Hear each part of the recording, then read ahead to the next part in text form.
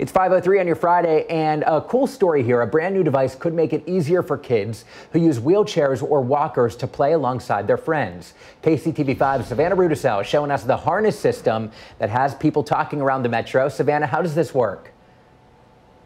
Joe, this is a big step in inclusivity. So what happens here at this full harness cafe is that students who typically utilize a wheelchair or a walker can strap on in to these harnesses. And then while they're here, they can use this kind of grid system and move anywhere they need to to serve coffee. This is set up actually in a middle school. We're in Discovery Middle School with the Liberty School District, and they're getting ready to show off this brand new tool that they've got for students. So here with me this morning is Deb Webrick with Variety KC. Cheers. Good Welcome to our cafe. Thank you very much. So, Deb, how involved is Variety KC with this project? Tell me a little bit more about oh this. Oh my gosh, well today our dream is coming true because we've been dreaming about a harness cafe for a very long time. So Variety Children's Charity actually raised the funds to purchase these in two cafes in the mm -hmm. Liberty School Districts.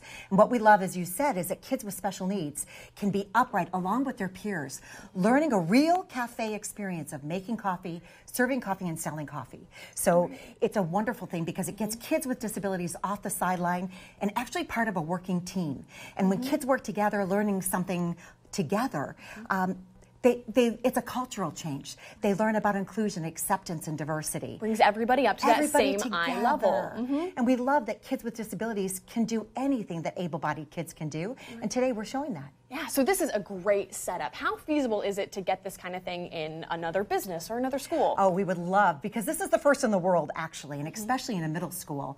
We'd love businesses to see how easy it is to include people with disabilities, because it is a quarter of our population are people with physical and cognitive disabilities. And it's time that we include them in our workplace as well as our community. Absolutely. Kansas City is leading the edge of inclusion, and this is just a shining example of it. And to show off their shining example, Liberty is holding a grand opening this morning at 8 a.m a.m. We'll be there for that as Can't well. Wait. And then coming up at 5.30, 5.30, we'll tell a little bit more about some other Variety KC projects you might see around the city. Reporting live in Liberty, Savannah Rudisell, KCTV5 News. One of my favorite organizations here in Kansas City. They do such amazing work, and this is just more proof of that. Thank you, Savannah, and thank you to Deb. Tell her I said hello as well. It's 5.05.